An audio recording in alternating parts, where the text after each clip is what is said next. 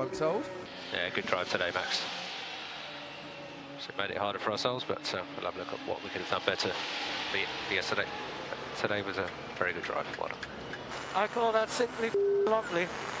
That was a good race, good race uh, all round. So uh, thank you very much. That was really, really good. Also good for the team again. Well done, Max. That was a mighty middle stint. That was really impressive on that uh, on the hard tyre.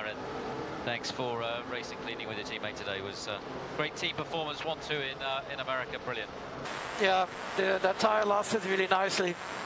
And uh, yeah, that was a good fight with Checo, but uh, yeah, that was very good. Good day.